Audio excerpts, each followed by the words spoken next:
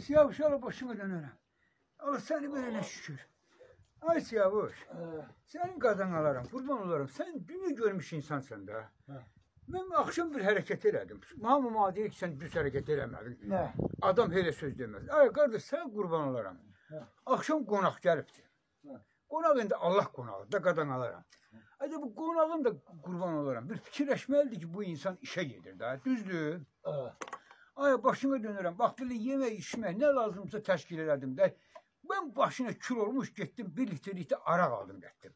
Hə. Qardaş qurban olaram sənə. Bu, bu qonaqlar araqdan içib bir-birini tərifləyirlər. Bir-birini tərifləyirlər. Mən də baxdım ki, saat qardaş qurban olaram biri işləyir. Qonaqlara dedim ki, qardaş qurban olaram siz gedəcəksiniz yoxsa qalacaqsınız. Dedilər ki, nədir ki? Dedim ay qurban olaram. Gedəcəksinizsə durun gedin. Getməyəcəksinizsə sizin də yerinizi salsınlar, elə yatın bizdə qalın.